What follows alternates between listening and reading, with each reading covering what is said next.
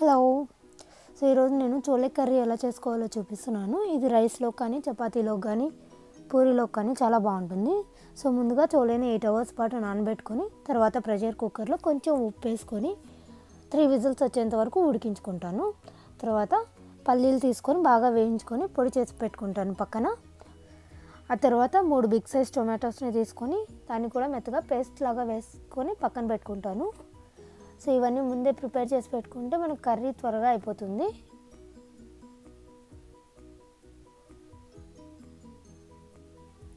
Onions కూడా నేను ముందే కట్ చేసి పెట్టుకున్నాను. సో ఇక్కడ ప్యాన్ పెట్టేసి అందులో కొంచెం ఆయిల్ వేసి వేడెక్కాక ఆవాలు జీలకర్ర కరివేపాకు వేసి వేయించుకుంటాను. తర్వాత ఇందులోకి ఆనియన్స్ వేసేసి ఒక త్రీ మినిట్స్ పాటు మూత పెట్టి మగ్గించుకుంటాను.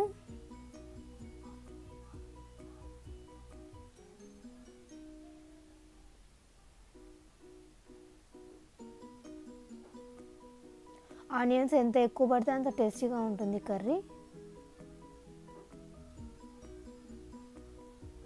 సో తర్వాత ఇది మగ్గిపోయిన తర్వాత ఇందులోకి టొమాటో పేస్ట్ కూడా వేసి కాసేపు మగ్గించుకుంటాను.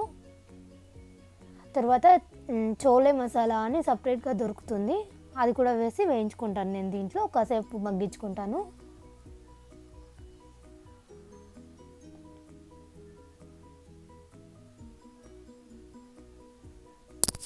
ఒకవేళ చోలే మసాలా లేకపోతే ధనియాల పొడి ఉప్పు కారం వేసుకున్నా కూడా సరిపోతుంది. టేస్ట్ సేమ్ అలానే వస్తుంది.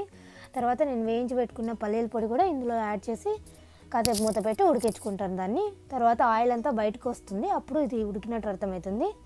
సో దాని తర్వాత ఇక్కడ చోలే కూడా వేసేసి ఉప్పు కూడా వేసేసి ఒక ఫైవ్ మినిట్స్ పాటు ఉడికించుకుంటాను మెత్తగా.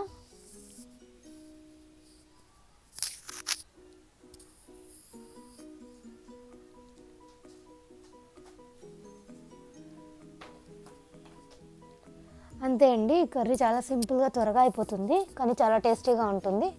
Thank you so much for watching మీకు కనుక నచ్చినట్లయితే సబ్స్క్రైబ్ చేయగలరు. బాయ్